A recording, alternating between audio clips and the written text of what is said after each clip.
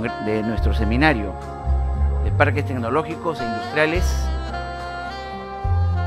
Eh, Ingeniero Z, por favor. Vamos a, vamos a dar inicio para no retrasar el programa. Hoy día tenemos un día especial. Eh, coincidentemente, los dos expositores son ingenieras, ¿no? que dan realce y prestigio a este, este, este, a este evento.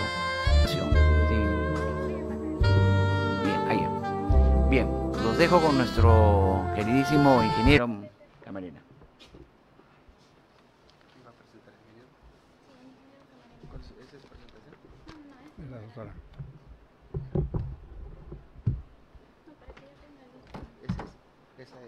Buenas tardes. La Comisión de la PYME del Consejo Departamental de Lima le da la cordial bienvenida. Como mencionó el ingeniero Ceballos, nos sentimos engalanados porque las dos ponentes son damas que tienen una alta trayectoria en tema de ingeniería, doctorados en extranjero y eh, un rato vienen desde los saludos. Hoy vamos a tocar un tema interesante relacionado a lo que es proyecto de leer, he hecho un extracto de su perfil que es bastante amplio. Era química, titulada. La doctora María Quintana obtuvo un grado de doctor solares sensibilizadas. El área de química fue realizada en la Universidad Nacional de Ingeniería. Después de terminar su carrera en ingeniería química, trabajó en varios controles adecuados de los procesos de fundición, refinación de especia, trabajando en temas de las celdas solares del estado materiales y celdas solares. Afeno, a partir de la materia prima peruana, que fue logrado exitosamente mediante ha desarrollado nuevas líneas de investigación, entre ellas los oils, que en conjunto a las celdas solares, colorantes y materiales de, nuestra, en nuestra región. Los nanomateriales, la remoción de materiales pesados, tema peso pesado, en tema ingeniería. Así que invitamos a, la ingeniera María Esther Quintana. Bueno, muy buenas tardes con todos. Eh, antes que nada, quiero agradecer a los organizadores del evento por permitirme compartir con ustedes los proyectos de investigación que vengo desarrollando, sobre todo al doctor Mellado por esta idea de poder implementar los parques tecnológicos. He tenido la oportunidad de estar en México en el Parque Tecnológico del CIMAP, o bien una universidad o una empresa que hacía desarrollo tecnológico. Estuve justo en uno de los edificios dedicados a la preparación de nanomateriales, donde se tenían varios ambientes en los cuales uno podía, conocí el de Monterrey, pero hay otro eh, en la zona sur de México, o sea, no solamente es un parque tecnológico, tiene varios parques tecnológicos. Colombia también cuenta con parques tecnológicos.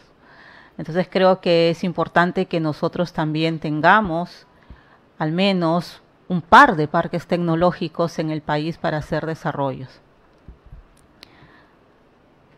Bueno, eh, encontré información justamente que Concitec había, había lanzado viendo la necesidad del desarrollo de estos parques, ¿no? Y me interesó muchísimo esta teoría de la triple hélice, donde tenemos eh, tres agentes importantes para el desarrollo de estos parques, que son el gobierno, la industria y la academia.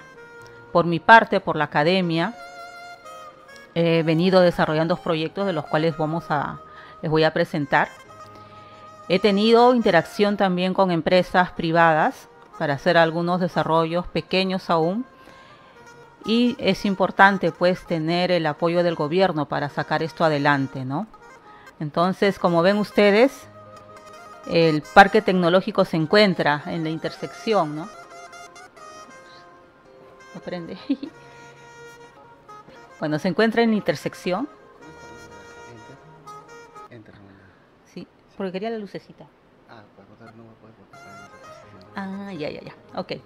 Ya, en la intersección se encuentra el parque tecnológico, ¿no? De estos tres agentes para poder llevar a cabo los desarrollos tecnológicos que buscamos. Ay, perdón. Entonces aquí les quería mencionar en general cuáles son los fondos con los cuales contamos y que podemos aprovechar para obtener recursos económicos e investigar.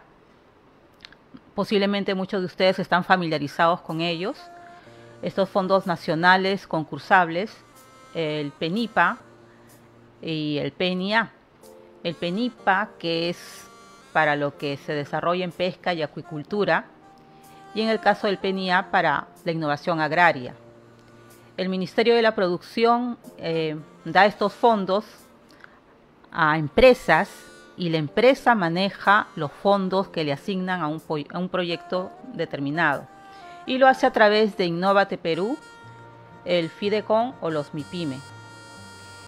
Y yo estoy más familiarizada con los fondos que otorga Concitec, que son básicamente ahora Prociencia, y que son generalmente fondos dados a universidades y la universidad administra el dinero para desarrollar la investigación. Entonces, en ambos casos, eh, la diferencia básicamente es quién va a administrar el dinero, ¿no? En el caso de las empresas, les conviene trabajar con Innovate Perú y pueden tener como aliado a una universidad. Y en el caso del Concitec es al revés quien maneja los fondos es la universidad y puede tener como aliada a una empresa. Y acá eh, les muestro la página del PENIPA, ¿no? Quienes pueden postular, qué características deben tener las empresas que pueden postular. Va a depender en mucho de, del, del tamaño de la empresa, de pequeñas, medianas o gran empresa, y con quienes se asocia. Generalmente piden una alianza con un centro académico, un aporte de parte de la empresa que no pasa del 18%, si no me equivoco, pero es un aporte no muy grande y depende de la cantidad de dinero que se, que se solicita. Y aunque no parezca, a pesar de que esos fondos no son reembolsables porque les dan el dinero para que hagan investigación, no hay muchas empresas que se prestan para aplicar estos fondos. Este es para el PENIPA, ¿no? Y ahí está la página web que pueden entrar y pueden revisarla, Como repito, siempre piden el trabajo en colaboración con una universidad y de preferencia inclusive en convenio para poder desarrollar la investigación. Y los fondos lo maneja la empresa. Estando en España recuerdo que comentaba que no, no había mucho, muchas empresas que postularan a los fondos y me preguntaban pues qué tanto tiempo les daban para devolver el dinero y les digo no este el dinero el estado lo da no es reembolsable. Y me dicen no es reembolsable y no aplican. Le digo sí es un poco eh, curioso el caso pero no pues no hay muchas empresas que se que apliquen para estos fondos no de Innovate Perú a pesar que son no reembolsables. Es más, o sea, hay fondos que da España a sus empresas y todas tienen un, es un préstamo básicamente que ellos tienen que después devolver y que les dan una tasa muy baja para que, eh, digamos, puedan tener el tiempo suficiente para hacer la investigación. Entonces, dependiendo del tipo de desarrollo que van a hacer, puede ser una innovación empresarial, un desarrollo productivo, un emprendimiento cuando se parte de cero o casi cero o algún programa de emergencia empresarial como se dio con el problema del COVID. Entonces, todos estos tipos de fondos existen actualmente en Innovate Perú y generalmente son a ventanilla abierta. Entonces, los invito a que le den una mirada eh, a cada uno de estos fondos. Y como repito, eh, uno de los requisitos es tener alianza con alguna institución académica, ¿no? Una universidad, dependiendo de la zona en que en que quieren hacer el desarrollo, ¿no? Y en el caso de Prociencia, que es con lo que más he trabajado y quien agradezco mucho de los fondos que me han dado para hacer investigación, también eh, se necesitan algunos requisitos para poder postular a Prociencia y tienen en su página generalmente cuáles son las convocatorias abiertas, cuáles son las convocatorias que están en evaluación o que al menos uno ha sido seleccionado para poder este, obtener el fondo. Y como requerimiento básico que piden es tener el CTI Vitae. ¿Y qué es el CTI Vitae? Es nuestro currículum, nuestro currículum Vitae que lo cargamos en línea. Entonces, los que participan dentro de estos proyectos necesitan ingresar su información a este CTI Vitae.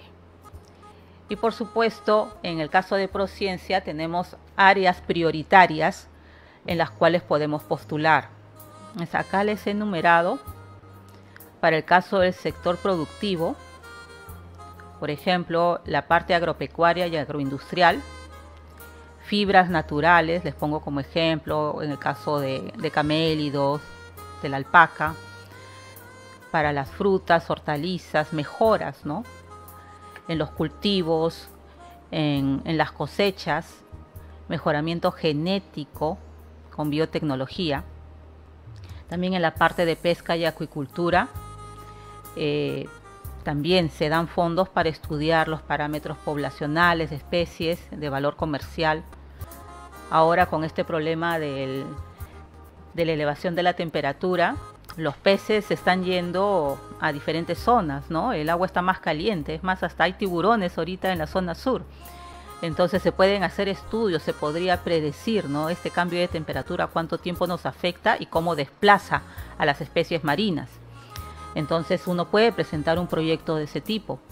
En el caso de minería y metalurgia también para los minerales no metálicos, los nanomateriales, que es más mi, mi expertise, con lo que más trabajo, pero también en recuperación de metales a partir de relaves, metalurgia extractiva, en la parte forestal también, con relación a las especies nativas. Y energía, que no es solamente una prioridad acá en el país, sino es una prioridad en el mundo, tener tecnologías, ¿no? Como biocombustibles, trabajo sobre eficiencia energética, son prioridad en nuestro, dentro de estas propuestas que podemos hacerle a Prociencia. En telecomunicaciones y últimamente también están considerando el turismo, ¿no? Y en la parte social y ambiental, lo básico, salud, educación, ambiente y vivienda. Esto siempre ha estado, que son prioridades. Entonces, plantear investigaciones, estudios relacionados a la salud de enfermedades transmisibles. Ahorita mismo ya se están dando algunos problemas con las inundaciones en el norte. Entonces, ¿cómo va a incrementar, digamos, la, presencia de dengue o otras enfermedades a raíz de que tenemos ya el problema ubicado en el norte. Podríamos solicitar fondos para estudiar ese problema. Y en educación eh, también se puede plantear algunas propuestas, ¿no? De teleeducación, podría ser un ejemplo, ¿no? O tecnologías para que ayuden a la enseñanza. En el caso del ambiente creo que también es sumamente prioritario y no solamente es aquí en el país, sino en el mundo, que es necesario hacer varios estudios. Sabemos perfectamente que el país, nuestro país, va a ser uno de los países más afectados por el cambio climático. En un listado aparece el Perú como el segundo país con mayores problemas por este cambio climático. ¿Qué se está haciendo hasta el momento? Se debe hacer investigación justamente para prevenir algunas cosas y mitigar algunas otras, ¿no? De lo que está actualmente sucediendo. Y aquí unas áreas de conocimiento para atender las demandas de sectores prioritarios, ¿no? Lo que son ciencias de la vida y biotecnologías, ciencia y tecnología de materiales, las tecnologías de información y comunicación, así como las ciencias y tecnologías ambientales y las ciencias básicas. Y últimamente también se está dando fondos para ciencias sociales que hace unos años mm, no daban casi ningún incentivo o fondo para hacer algún estudio social. Ahora sí se está haciendo. Y por supuesto también se pueden pedir subvenciones en el extranjero.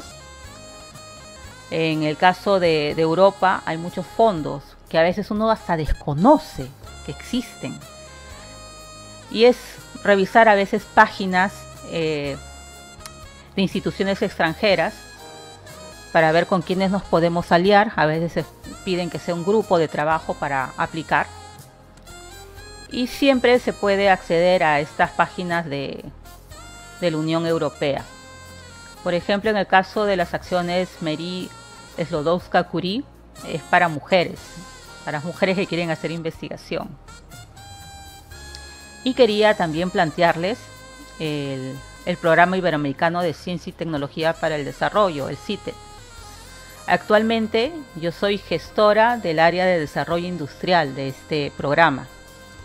Entonces veo que no hay mucha, mucha aplicación por parte de grupos peruanos a estos fondos que permiten el intercambio de profesionales, permiten que se hagan pasantías, permiten que hayan publicaciones en conjunto, transferencia tecnológica. Y en el caso del área de desarrollo industrial inclusive se pide la participación de empresas para que la empresa haga el desarrollo de alguna tecnología que hace el grupo de investigación, el grupo de trabajo. Entonces los invito a que revisen la página del CITED, que ahorita hay una convocatoria abierta. Les dan fondos para cuatro años, entre tres a cuatro años, para que puedan viajar e interactuar con otros grupos con temas afines a lo que ustedes trabajan o investigan. Entonces les recomiendo bastante y aprovecho este espacio que me han permitido para poder hacer más difusión de este tipo de convocatorias que son muy provechosas para ustedes. Bueno, aquí les presento mi grupo de investigación en la UNI. Actualmente estoy en la Facultad de Ciencias, en la carrera de Ingeniería Física, y ahí están mis estudiantes de pregrado, de posgrado y algunos profesores que trabajan conmigo en el área de los nanomateriales. Y acá les menciono pues en qué áreas eh, trabajamos para producir nuestros nanomateriales. Hemos desarrollado un pequeño equipo para hacer rociado pirolítico, tenemos un equipo láser para trabajar las nanopartículas por ablación láser, tenemos un molino piloto para hacer molienda y, producir también nanopartículas, y por último los procedimientos químicos para obtener nanopartículas. Entonces, el rociado pirolítico, como ustedes ven en la fotografía inferior, es un equipo que lo hemos armado en la Uni. es tecnología Made in Uni. Y solo necesitamos reactivos y solventes para poder fabricar películas a nivel nano. En un momento podíamos medir exactamente cuál era el espesor de la película, pero como hemos metido a veces demasiados ácidos, ya hemos malogrado los sensores y solamente producimos ahora las películas, pero podemos reproducirlas. Todo esto, eh, este es el plano del, equipo y se hizo con las cosas que teníamos a la mano, o sea, desarrollamos este equipo de rociado pirolítico. Y nos ha permitido publicar, sacar patentes con algo tan, tan simple. Luego con la ablación láser, que es un método súper eficiente para producir nanopartículas, solo necesitamos un target metálico del material que queremos obtener nanopartículas y la solución en la cual queremos obtenerlo. Puede ser agua, puede ser un solvente orgánico y solo se incide el láser sobre este target metálico y obtenemos las nanopartículas. Ese es un método bastante sencillo, solo que se obtiene en muy poca cantidad. Y esa poca cantidad la podemos usar de repente para un dispositivo pequeño. No es tan escalable como otros métodos es un poco más, eh, más pequeña la producción. Entonces es la desventaja de esa, de esa técnica. Con la molienda mecánica, este es el equipo piloto que tenemos en la Uni. Ya está un poco viejito porque ustedes ven varios botones, ahora todo es digital. Entonces un molino moderno tiene toda una pantallita digital. Nosotros tenemos todavía con, con botoncitos, pero sirve. O sea, podemos hacer nanopartículas y tenemos que cargar en ese tanque de agitación que se indica eh, es molienda húmeda utilizamos el material que generalmente está en micras eh, al 20% con agua y luego lo molemos. Y después de molerlos obtenemos las nanos y este viene a ser la sección transversal del molino de bolas. Acá este, unas micrografías para ver cómo se da la distribución de tamaños de las nanopartículas. En este caso fue de óxido de zinc. Y acá les menciono ya la preparación general, ¿no? De cómo hacemos las nanopartículas por un método químico. No es complicado, generalmente necesitamos precursores, soluciones orgánicas y podemos encontrar cuál es el tamaño utilizando equipos como Light Scattering, digamos a un tamaño de 25 nanómetros mediante la síntesis química. Y el grafeno, que justamente mencionaron cuando hablaron sobre mi, sobre mi hoja de vida. El grafeno es un material que en este momento está dando mucho que hablar. Se está utilizando en diferentes industrias. Hace cinco años el grafeno costaba un ojo de la cara. Un gramo de grafeno estaba alrededor de 1.200 dólares. En este momento ha bajado el precio del grafeno, pero lo están utilizando masivamente. Inclusive había una discusión con respecto si el grafeno valía la pena que costara tanto y que si realmente tenía propiedades especiales eh, que lo diferenciaban y valía la pena que, que se utilizara. Pues ahorita se está demostrando que sí. Se está usando en el concreto, mejora la resistencia del concreto. Hay bicicletas, vehículos que los recubren con grafeno y obtienen que esos equipos tienen mayor tiempo de vida que uno que no está recubierto con grafeno y sus aplicaciones son inmensas. Empezamos esta, este trabajo del grafeno con una colega de Brasil, también peruana, pero que ya radica en Brasil, y que conoció a uno de los nobles haciendo el grafeno, pero de manera eh, a nivel laboratorio, con la exfoliación mecánica utilizando un grafito, un grafito orientado que lo producen en grandes cantidades en Brasil y que mediante una cinta repetidamente pegando y despegando se puede obtener una capa molecular, una capa de, grafeno. Entonces ella vino a, a enseñarnos esa técnica y nosotros desarrollamos acá el método químico. En mi laboratorio desarrollamos el uso de ácidos para oxidar el grafito y luego reducirlo para llevarlo a óxido de grafeno reducido. Entonces, mediante esta técnica de hammers que le llaman, esta técnica de hammers nos permite tener un producto intermedio, el óxido de grafeno.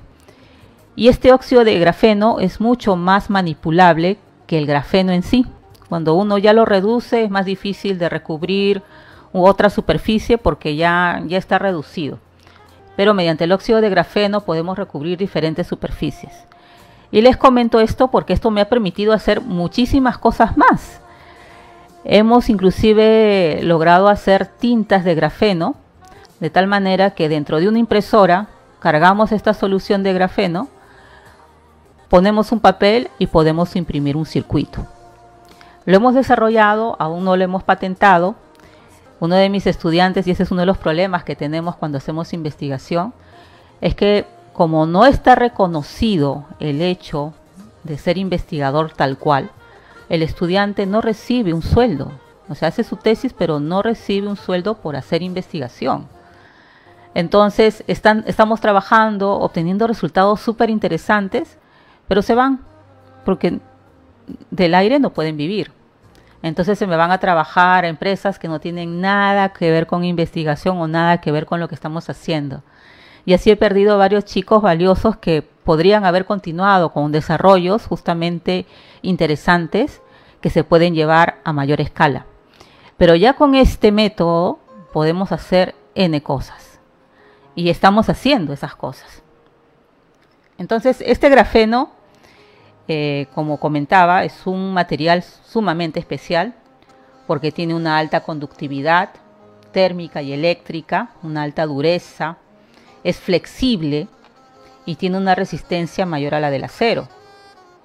Soporta radiación ionizante y inclusive es mucho más ligero que la fibra de carbono.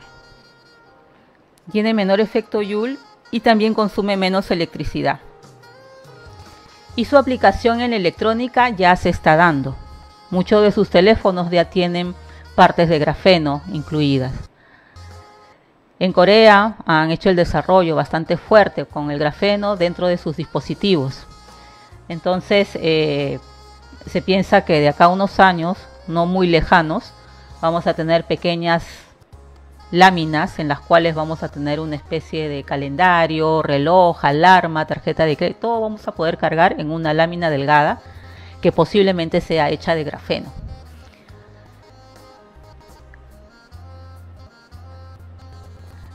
Y aquí ya para mencionarles un poco de los trabajos que venimos desarrollando en mi grupo, ya más enfocados en la parte de las celdas solares. Esta es una celda solar comercial que se produce en Europa. Estas son ventanas que producen electricidad, que son celdas solares con colores. Y acá lo que venimos haciendo es esas mismas celdas utilizando colorantes naturales y no colorantes sintéticos. Entonces utilizamos para estas celdas óxido de titanio, pero a nivel nano, o sea, óxido de titanio nanoestructurado, un colorante, generalmente es un colorante sintético, un ánodo con un electrolito y producimos electricidad. Hasta el momento son un poco inestables y tienen baja eficiencia, pero eh, con los colorantes naturales peruanos hemos logrado muy buena respuesta. Entonces uno de ellos es el airampo. El airampo es un colorante natural que lo utilizan en algunas zonas inclusive para hacer dulces, para hacer refrescos. Eh, nosotros los hemos utilizado para hacer dispositivos lumínicos y celdas solares y hemos logrado inclusive identificar cuáles son los compuestos activos para, para estos colorantes. La chicha morada, que nos refresca tanto, también puede producir electricidad. La hemos utilizado para las celdas solares y hemos identificado cuáles son los grupos orgánicos que nos ayudan a esa interacción. Han venido inclusive unas estudiantes de Suecia a trabajar con la chicha morada y hacer su tesis de maestría con, la chicha y con los nanomateriales. Y tenemos acá también el ejemplo que les daba de los OLEDs o de los dispositivos lumínicos. Estos dispositivos lumínicos los trabajamos con, con colegas de Alemania, donde hemos hecho las caracterizaciones y también hemos usado colorantes naturales peruanos para producir luz. Pues esto ya está publicado inclusive, pero siempre nuestro enfoque ha sido de utilizar lo que tenemos a la mano para poder tener un producto que pueda ser escalable y que pueda utilizarse más adelante. Luego también como problema social que tenemos son los metales pesados en el agua. Entonces ya haya habido bastantes trabajos en otras partes del mundo utilizando el grafeno para descontaminar aguas. Entonces cuando veíamos las notas, las publicaciones, dijimos, ¿por qué no hacemos nosotros también un, material basado en grafeno para descontaminar el agua? Entonces en base a eso también nos, nos pusimos como meta utilizar el grafeno para descontaminar el agua. Y ahí ustedes ven listados los materiales que utilizamos para tratar de descontaminar el agua. Pusimos el grafeno sobre ferritas naturales, el grafeno sobre diatomitas naturales, el óxido de grafeno, que es la otra forma del grafeno. Y por último probamos con el grafeno sobre arena. Recubrir la arena con el grafeno también para darle un uso como material de filtro, como material descontaminante. Entonces, para estos materiales hemos recibido eh, fondos de Prociencia y de Innovate. La diatomita, por ejemplo, de por sí sirve para descontaminar aguas. Si le ponemos grafeno sobre la superficie de la diatomita, mejoramos su poder de remoción. Y para eso eh, Hemos hecho pruebas, hemos hecho investigación para ver qué tan bien podía ser removido en los metales pesados, ¿no? Lo hemos caracterizado con diferentes métodos para ver que efectivamente teníamos un nuevo material y nos resultó este, que sí mejorábamos la eficiencia. Y luego hemos estado viendo de utilizar también las nanopartículas de óxido de hierro para mejorar la producción de biogás. Eh, ya conocemos que ha habido muchos problemas por la elevación del precio del gas. Hubo inclusive crisis en algunas zonas de nuestro país porque no había el transporte adecuado y se elevaba el precio de los balones de gas. Cuando si nosotros tenemos un biodigestor y desechos orgánicos, podemos producir biogás. Y aparte de producir el biogás, podemos obtener fertilizante. Eso es algo que no está muy implementado en las zonas rurales. Y generalmente es porque la producción de biogás no es muy alta. O sea, se produce gas pero en pocas cantidades. Y lo que estamos buscando nosotros es usar los nanomateriales de óxido de hierro para aumentar esa eficiencia. O sea, aumentamos la eficiencia y va a ser un poco más atractivo para que utilizando desechos orgánicos obtengamos energía, gas, metano y a la vez fertilizante, que también va a ser un problema dentro de poco, ya que no ha habido un manejo adecuado para la compra de los fertilizantes. Entonces, eh, consideramos que esta es una propuesta no muy nueva porque ya se utilizan biodigestores en diferentes partes del mundo, pero el hecho de utilizar las nanopartículas para mejorar esa eficiencia creo que ayudaría mucho, sobre todo en las zonas rurales. Y hemos implementado pues el método, tenemos ahorita biodigestores tamaño piloto, eh, controlamos algunos parámetros como pH, Estamos ahorita haciendo ya un piloto de mayor escala dentro de la facultad. Justo esta semana hemos logrado el permiso y estamos empezando a acabar para hacer nuestro biodigestor de geomembrana.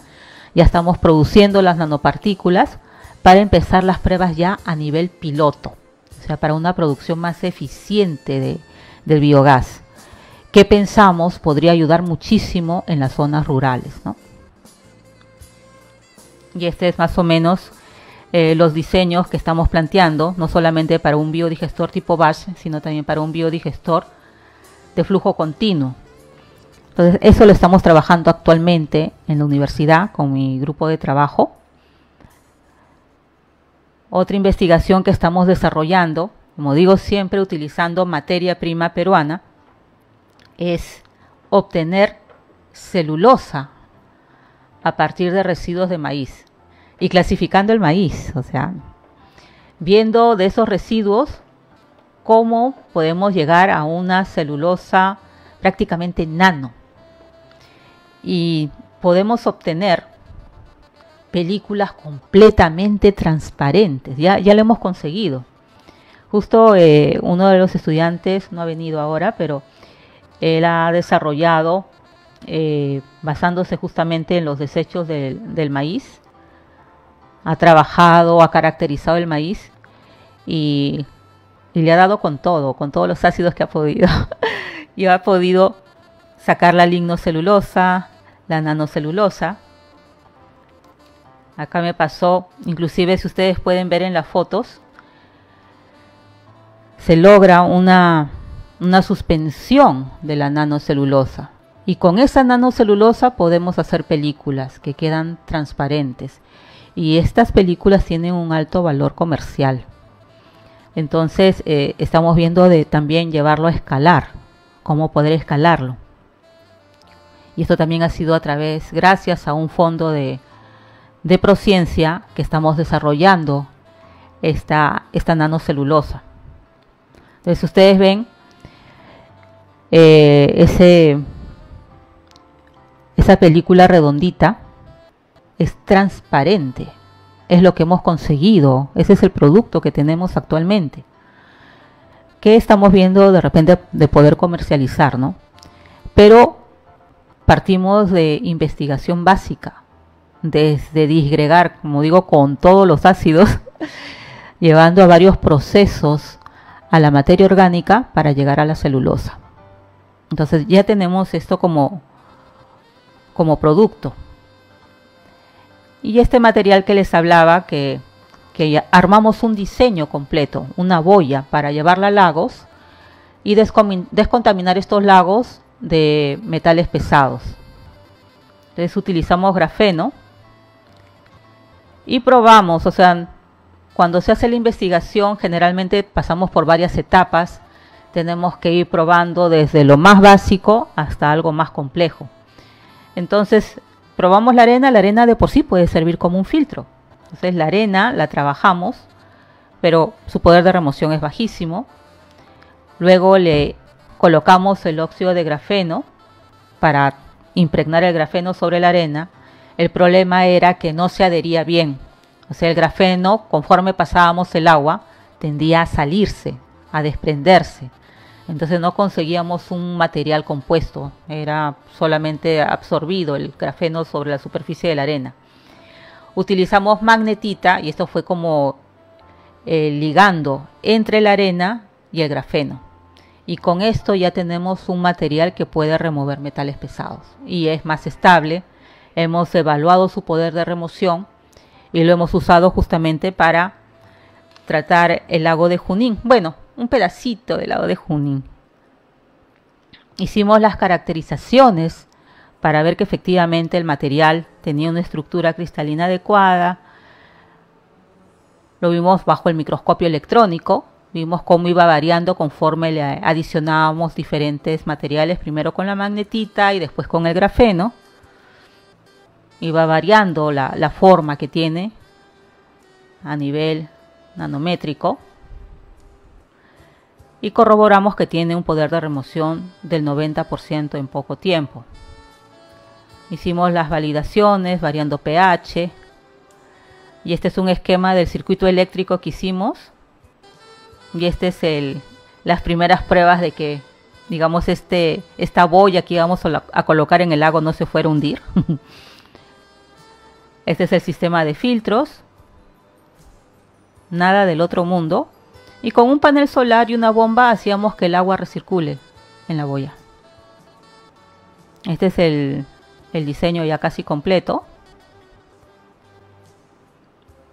Un producto que se puede escalar porque producimos, podemos producir la arena con el grafeno y la magnetita en cantidad.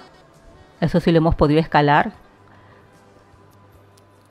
y acá unas fotos cuando fuimos al lago de Junín para hacer las pruebas in situ con la boya para ver que efectivamente funcionaba. Ahí con mis estudiantes con los cuales hicimos el proyecto.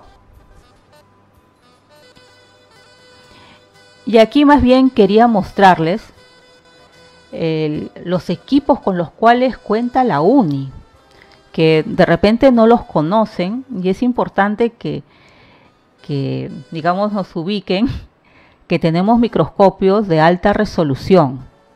Estos microscopios electrónicos nos permiten ver a los materiales a nivel nanométrico. Y no solamente nos permiten ver ese nivel, cómo está la superficie de un material determinado, sino que también nos permiten analizar la composición química, qué elementos tengo en ese material. Entonces es un, un equipo completo. Tenemos dos microscopios electrónicos de barrido, Ahí está el otro microscopio. Uno con mayor resolución que el otro. Tenemos también equipos para caracterización de celdas solares, pero ese es un poco más común, creo yo. Creo ese es más fácil de poder. Este, diferentes instituciones cuentan con equipos de ese tipo. Y el último microscopio que hemos obtenido es un microscopio de fuerza atómica, que también nos permite ver a nivel molecular cómo está la superficie de un material. Entonces, este microscopio de, fuerza atómica trabaja junto a un espectrómetro Raman. ¿Y qué es un espectrómetro Raman? Viene a ser un equipo que nos permite ver grupos funcionales, grupos orgánicos. También podemos ver la estructura orgánica de un material. Entonces, este, este último equipo lo conseguimos también con un fondo de prociencia. O sea, nos dieron para comprar un equipo.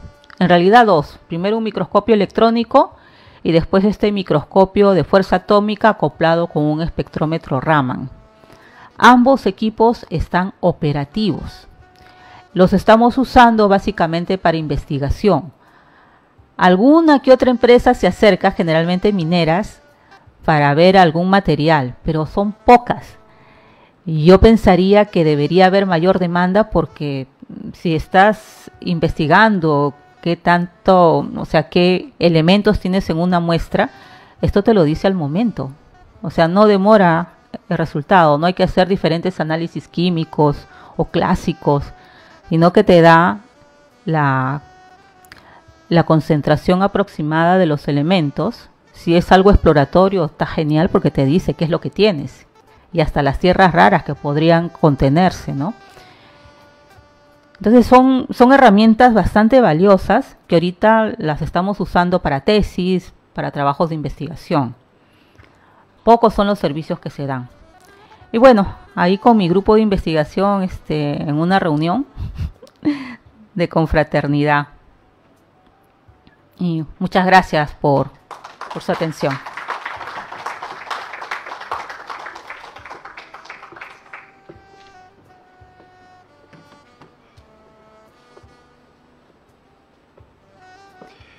Eh, muchas gracias, ingeniera María Esther Quintana. Y realmente me he quedado eh, asombrado por los avances de su investigación, producto de los estudios que ha hecho en el extranjero. Conozco eh, estudiantes egresados de la UNI que también están siguiendo ese recorrido. Y usted tocó el tema de los tema interesante. Tengo una sobrina que estudió química en la UNI. se fue a Brasil haciendo un posgrado y se llevó este, un tubérculo llamado la mashua. Con eso ha hecho su, tesis de maestría, su doctorado.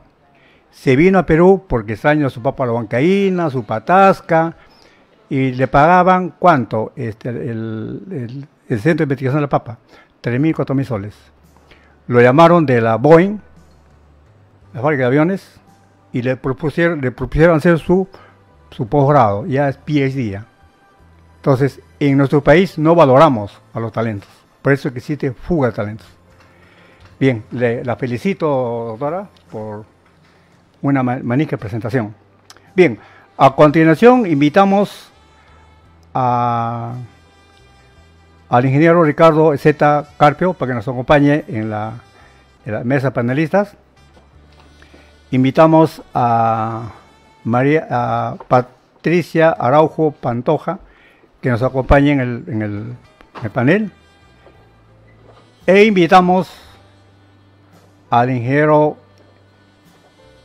Alberto Cáceres para que nos acompañe en el, en el panel. Gracias.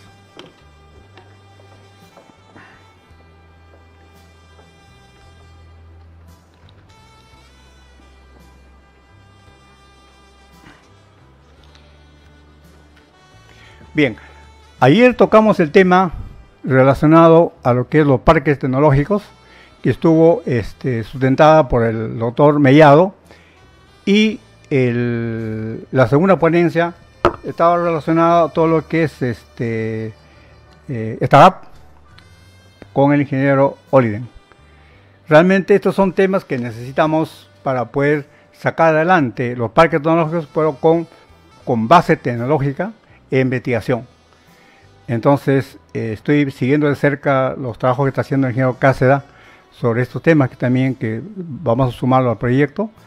Entonces, invitamos a, los panelistas, si puede pasar el micro, este, para que nos den sus impresiones relacionadas a la ponencia de la ingeniera.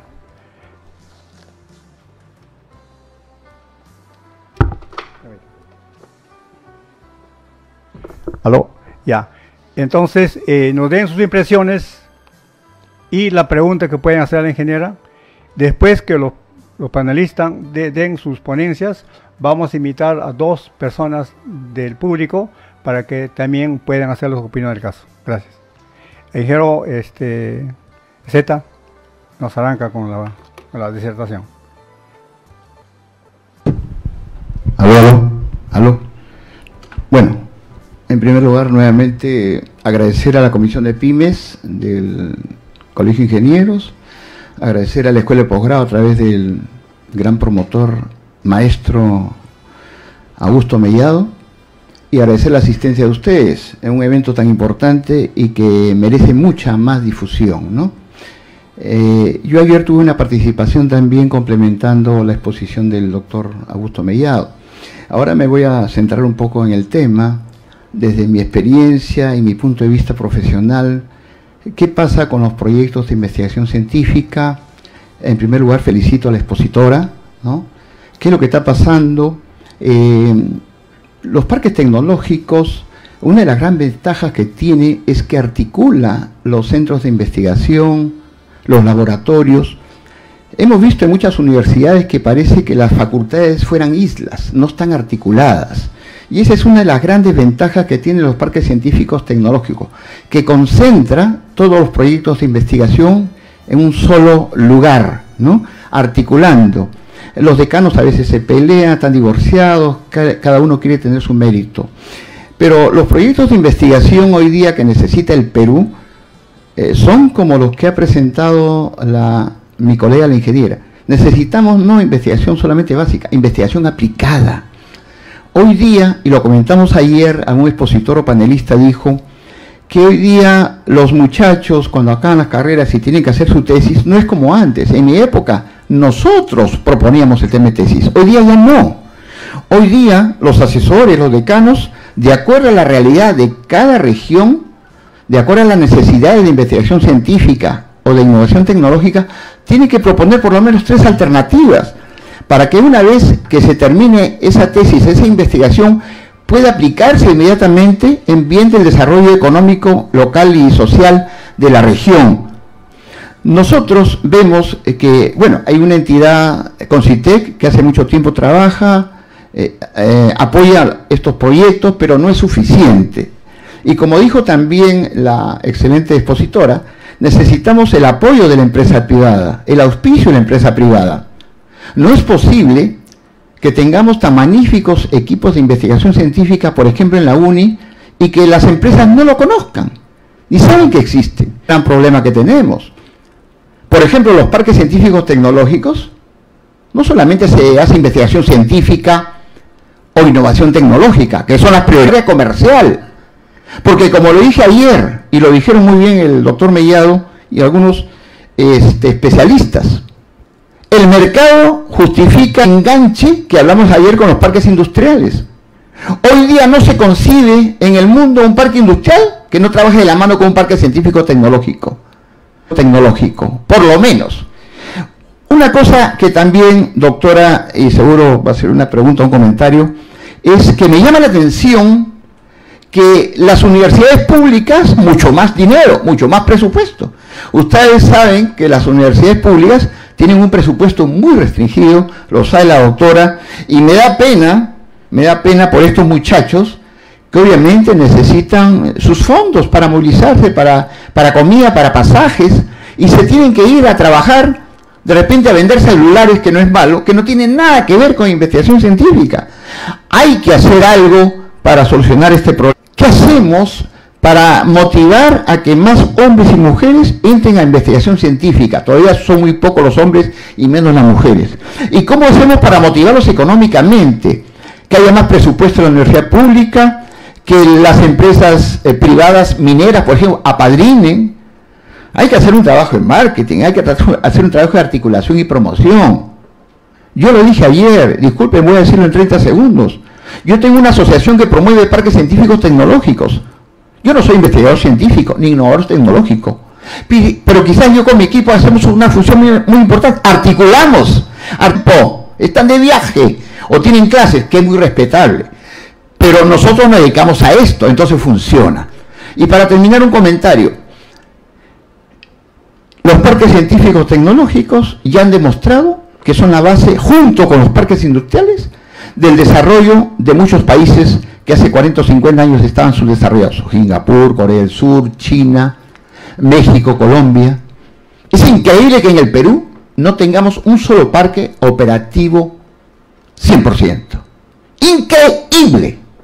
Yo felicito al doctor Augusto Mellado, que está impulsando muy bien y está presidiendo la comisión de la UNI trabajando técnica para hacer su parque científico tecnológico, sé de los esfuerzos de las universidades privadas que han hecho algo en Santa María del Mar, que es la Cayetana Heredia con la Católica, no sé en qué situación está. Obviamente los dos años de, de COVID atrasaron todos los proyectos. Solamente, doctora, nuevamente, los científicos son buenos investigando, pero no son especialistas en marketing. El marketero es bueno marketeando, pero es mal investigando. Necesitamos complementación. Y por ahí más investigación científica para evitar lo que usted nos ha dicho que por falta de recursos económicos tienen que irse a hacer. Okay. Mira, justamente, yo creo que en mi caso,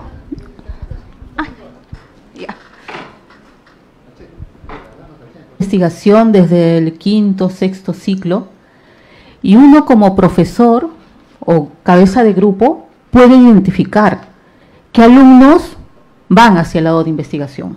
No todos van a ir a investigación, porque necesitamos gente también que haga producción. No tienen por qué todos investigar. Si uno identifica quiénes son esos chicos, yo considero que la empresa privada debería apadrinar, porque no hay interacción universidad-empresa. No hay. Y descuento en impuestos, qué sé yo. Como hacen en Suecia. En Suecia cuando digamos, es una mujer la que obtiene el doctorado, es una mujer la que obtiene una subvención, el que está subvencionando tiene un beneficio. Entonces, dar un beneficio adicional si es mujer la que va a investigar. más a la mujer que ya más estamos, sí, pues recién estamos tratando de. Me gustaría estar al nivel de Suecia. Gracias María. Bueno, yo María tengo el gusto de conocerla hace varios años ya. Eh, muy interesante tu presentación justo hoy día, el tema muy amplio el que ha abarcado. Y el tema en sí del seminario a mí me llamó mucho la atención sobre parques tecnológicos, porque inclusive el nombre de parques tecnológicos no estaba difundido en el país. Como bien dijo el Europa, ¿no? Como bien lo mencionó. Y en América Latina sí hay varios parques tecnológicos, ¿no? Uno de los pioneros ha sido Brasil que tienen en la actualidad 53 parques tecnológicos. De la pandemia atrasó muchos proyectos, no en todas partes. Y justamente el tema del seminario me llamó mucho la atención para investigar también acerca de eso, porque no, yo no tenía mucho conocimiento de todo el poder que tiene un parque tecnológico para haciendo sinergia la industria, como lo mencionó María, y la academia, ¿no? Si no hay esa sinergia en este, en este momento, ganaría con los avances científicos ¿no? y las innovaciones que se están dando en la academia. ¿no? Porque son justamente las necesidades que la empresa tiene, de una necesidad real que tiene la empresa para poder crecer, de un problema latente que tienen para poder seguir caminando, que se hace generalmente, no tratan de apagar el, el fuego que hay en ese momento, ¿no? Pero no van a investigar a fondo porque las empresas pequeñas a medianas no tienen esos fondos como para investigar. Entonces, ¿qué es lo que se tiene que hacer? Se tiene que hacer formar estos parques tecnológicos, como muy, muy bien lo han mencionado, ¿no? Y hacer de que todo sea un sistema colaborativo, ¿no? Y me, me llama mucho la atención ¿no? la creación de este parque aquí en el, en el país, el incentivo ¿no? que se está dando y lo que pienso que se debería de hacer también es la difusión, ¿no? Ese marketing que, bien lo mencionó, de todas las ventajas que tiene la creación y la formación de parques tecnológicos aquí en el Perú. ¿no? Somos un país eh, que puede crecer mucho, ¿no? que puede crecer mucho y que está creciendo a pesar de todos los problemas que podemos tener, pero tenemos que tener esas ganas de querer hacerlo. ¿no? Y, y siguiendo el hilo de conferencias que yo fui hace, antes de la pandemia, no hace cuatro años atrás, una representante de, la ONU dijo de que para que haya igualdad en el trabajo entre 300 años se va a llegar a esa igualdad, ¿no? Entonces, y eso lo están difundiendo ahora, ¿no? Yo lo he visto bastante en, varios medios de comunicación, algo que dijeron hace cuatro años atrás y que a mí particularmente me llama mucho la atención y, y dije, bueno, entonces hay que seguir trabajando, hombres y mujeres, porque esto no es solamente de empoderar eh, a la mujer, sino empoderar a la ciencia ¿no? y, a, la tecnología que tiene que emerger de la academia.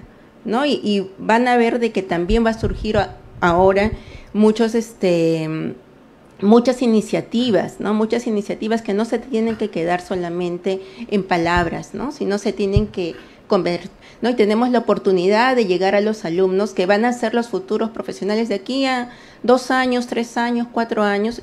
Es lo que yo les digo a mis alumnos que son la mayoría de los últimos ciclos, ¿no? Ustedes de aquí a poco van a estar dirigiendo una empresa, ¿no? Van a estar como jefes, van a estar como gerentes. ¿Y ustedes cómo van a hacer para justamente solucionar los problemas que están viendo ahora? ¿no? Porque es, fácil eh, solución dentro de todo este problema, ¿no? Entonces, eh, yo quiero felicitar también a María por, todo lo que está haciendo en, cuanto al desarrollo de la ciencia más avanzada que hay. Yo la he conocido también cuando estaba haciendo el, doctorado, ¿no? Y, ayuda bastante para el análisis de muestras, porque en comparación, por ejemplo, con el NIR, eh, no tiende tanto a enmascarar el agua, ¿no? El agua es el eterno problema de las de, la absorbancia, ¿no? Cuando nosotros queremos analizar ciertas muestras que acuosas, ¿no? Entonces eh, se tiene que analizar y se tiene que difundir, ¿no? O sea, la difusión yo pienso de que es ahora la clave, ¿no? El margen de difusión de todos los trabajos que estás haciendo, cuáles son los medios que tienes o de repente que el apoyo que necesitas para poderlo difundir más. Gracias, Pati. Gracias por la intervención, por las palabras.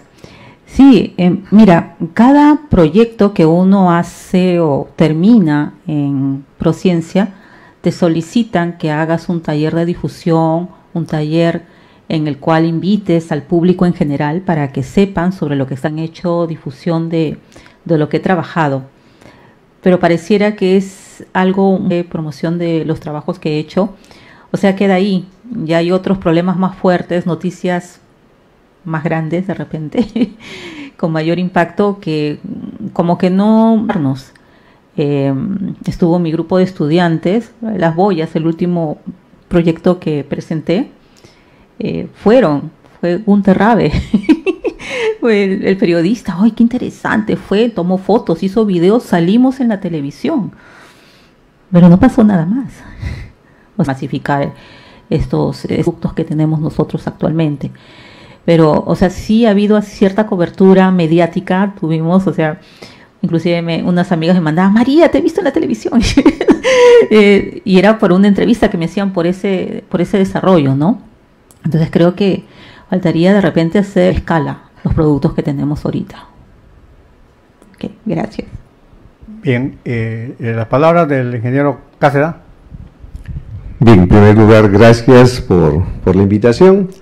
Yo quiero enfocar el tema también desde un punto de vista del ecosistema para, para, el emprendimiento. ¿no?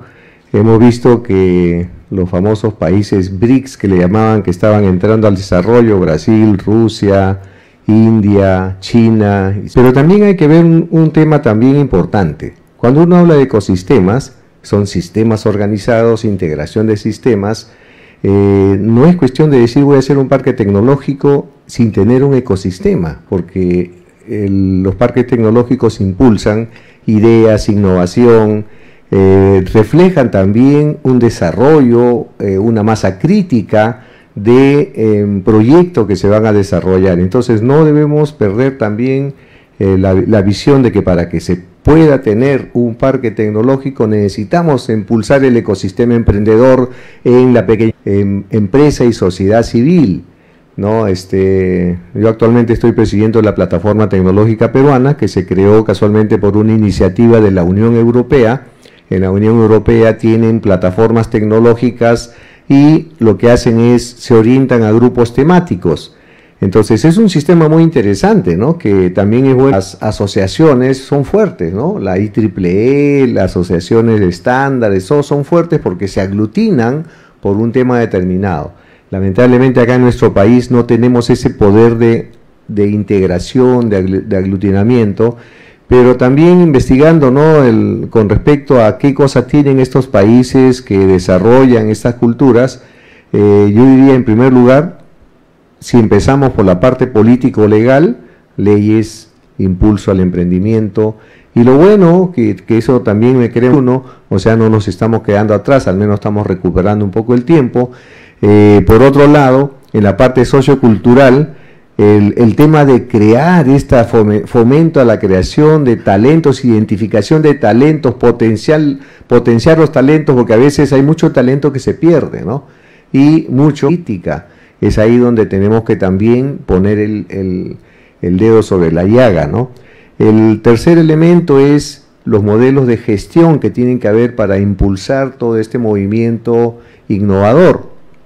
Y lamentablemente no ahí también tenemos una falencia, no hay eh, una alianza fuerte universidad-empresa, no hay una alianza fuerte gobierno-universidad, no hay una alianza fuerte eh, gobierno traer unos tipo biodigestores, pero son este producen carbón, gas y todos esos temas y este, me parece interesante ¿no? que Brasil esté ya en, ese punto, pero no hay todavía estos mecanismos para poder decir cómo hacemos para acelerar. Si uno hace una más ágiles, entonces cuestión nada más de que se cree esta costumbre de que los gobiernos inviertan en estos pro compite para ir creando ese ecosistema integrador. Pero en que, lo que sí podríamos ir avanzando es de, hecho, ¿no? El hacer un parque tecnológico es una inversión grande, pero debemos hacer ya nodos tecnológicos, centros tecnológicos, crear la alianza. Ustedes trabajan para dentro de la facultad, no hay proyectos multi, no, porque si bien 71% de las ideas de mejora de una organización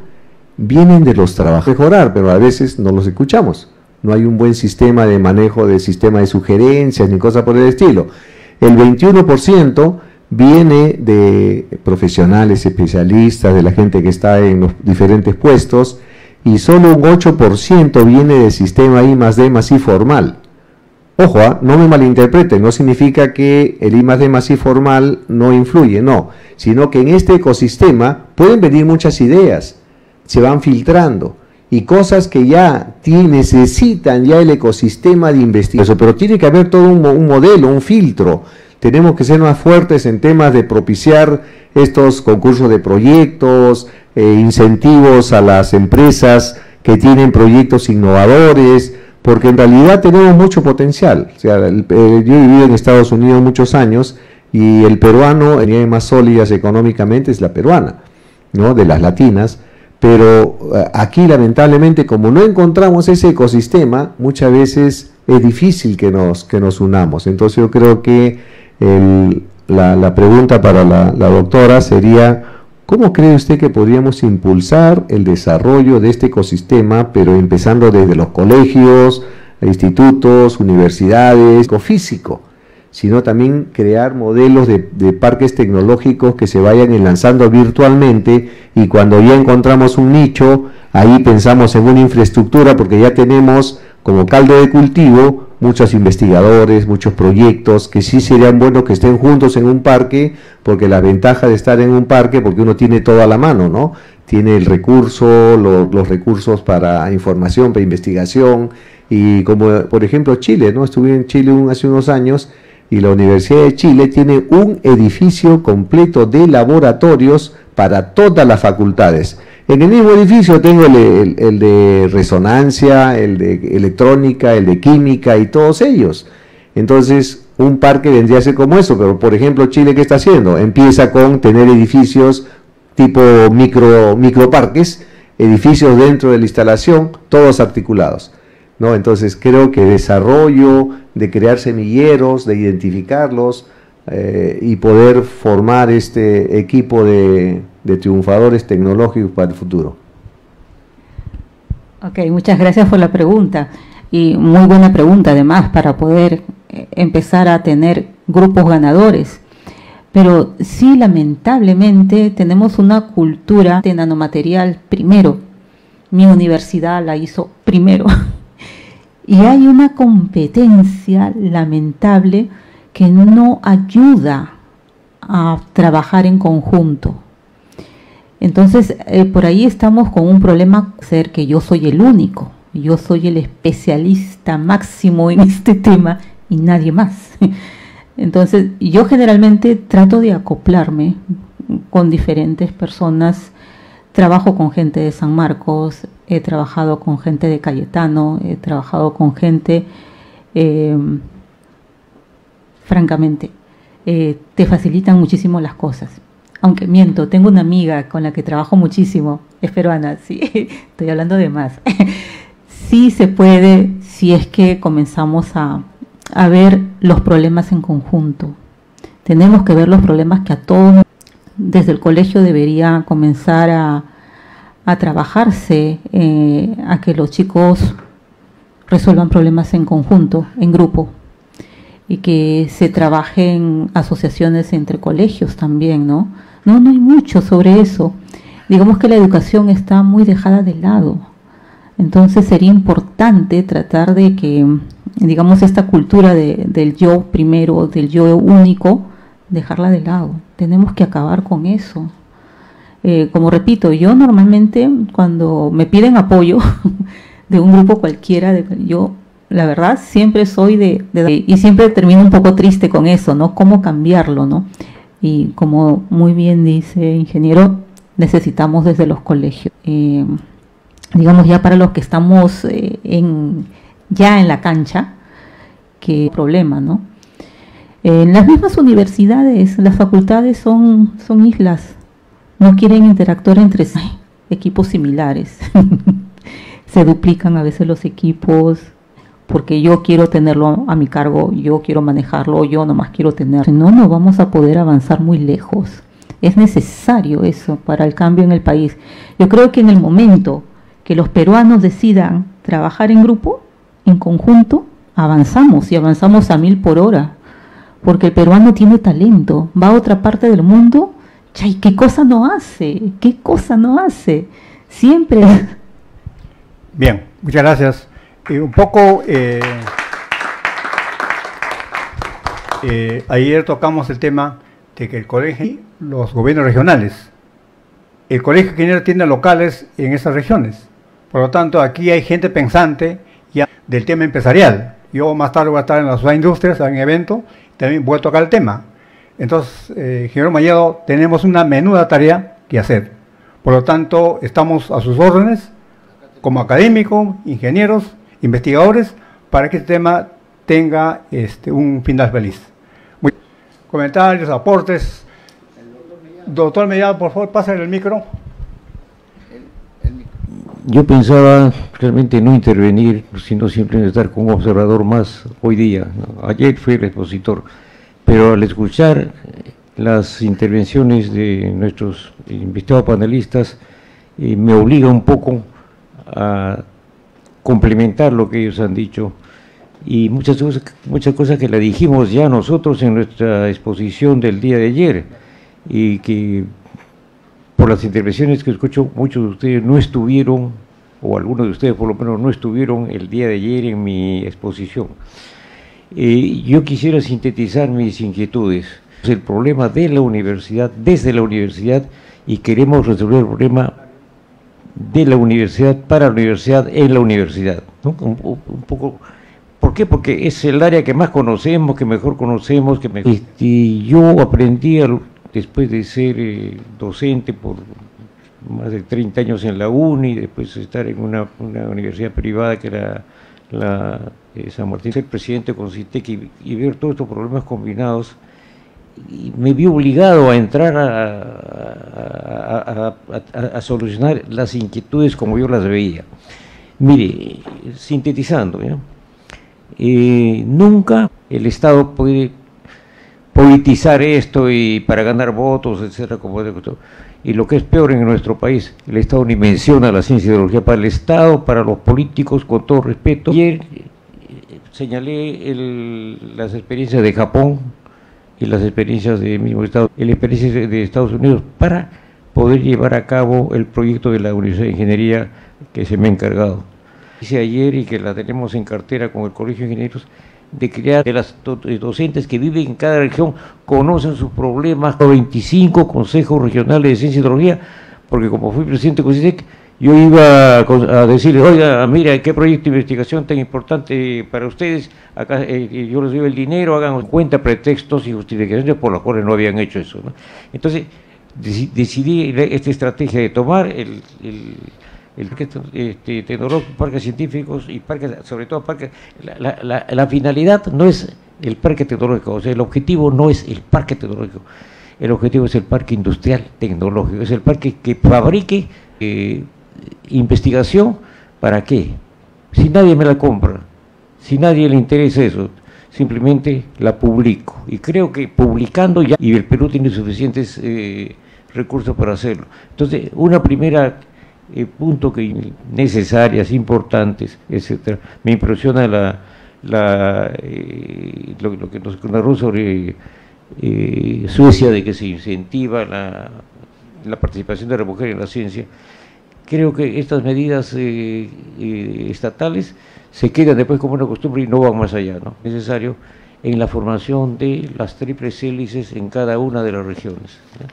Ahí van a salir los problemas y de la sumatoria de todos esos problemas van a salir las políticas para poder resolverlos no de nosotros, no de lo que cada uno pensemos, sino de los mismos actores de esos dramas de que no haya ciencia y tecnología en regiones que hay mucha, eh, muchos eh, recursos naturales. Por supuesto, porque les va a interesar. Las pocas empresas eh, industriales que tenemos en el Perú se dependen o viven de las tecnologías que vienen del extranjero y fabrican sus cosas con la tecnología que, que viene del extranjero. La universidad ni la miran yo trabajé, con, repito, en empresas suecas y las empresas suecas, yo estaba en una de las gerencias y lo que hacen los suecos decían, bueno, hay que darles unos 10 mil dólares y importante la propuesta que hace la, doctora Quintana de vincular más y más la recomendación que dice, oye, no tenemos empresas que, que, les interesen, claro, por las razones que acabo de decir, el valor agregado, no requiere tecnología. Lo que tenemos que hacer nosotros es educación. Y eso es lo que vamos a hacer en la UNE, formar empresas pequeñas y medianas que generen ciencia, empresas de investigadores, que van a tener, que hay que crearles la demanda para que tengan clientes, empresas de manufactura. Fue muy raro.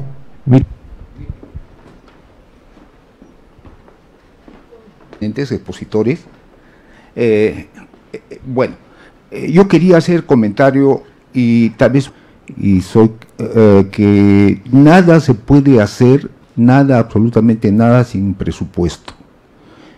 Las universidades nacionales dependen de un presupuesto del Ministerio de Educación, de, así como que yo creo que una de las cosas que se debe hacer, tecnología, que es, es eh, a través del cual el mundo puede utilizar los conocimientos, no se pueden hacer absolutamente nada por falta de presupuesto, asignación. Yo, año 78 al año, de 78 al año 81. En ese entonces, quiero, es decir, de, las empresas, de los aportes. Entonces, dos, y todas las empresas cumplían realmente. Pero entonces, ¿qué hacían las empresas? Para o sea, la, misma empresa A decía, bueno, son dos millones de soles, quiero recuperar, quiero mejorar mi empresa con ese dinero, quiero mejorarla. Los dos de, de química, investigadores, que de agua ahí está San Luis y, y, viceversa, no varias, que su objetivo era, estaban proyectos y presentaban al ITINTEC y en el ITINTEC que debíamos de, de las empresas sí eh, la empresa para sostener un buen proyecto tenía que que no había eh, aquí eh, se, y todo quería ver es de en la ciudad de Sucuba donde se hizo una investigación de bueno varios temas específicos por decirle de química de física nuclear de electrónica. Eran edificios completamente independientes y cada uno administraba un buen desarrollo y estos mismos laboratorios brindaban servicio a las universidades, ¿no? Que quieren hacer o, o, a nivel regional, sino es que tenían buena implementación de equipos. Es la ineficiencia. El, por favor. Gracias. Participando en la mesa, todas las actividades donde se puede, no sé si ustedes tienen pesados. Yo creo que acá no vamos a esperar una orden del Congreso o del gobierno este, mm, central, tiene que ver la manera cómo acercarse a permitir que ahorita el balcón ¿no? ha hecho pues que e- este, este problema inicial fue algo urgente, incrementando el problema del cáncer. Gracias. Le entregamos La presidenta Catherine Cruz, la misión de PYME, que, ya ten- que tiene como uno de sus objetivos proyectarse a... Adicionalmente le entregamos su pisco para que haga su broma. La ingeniera doctora Patricia Araujo. En nombre de la Comisión de PYME y su presidente, cristaliza su participación proyección hacia la sociedad, especialmente con la pequeña...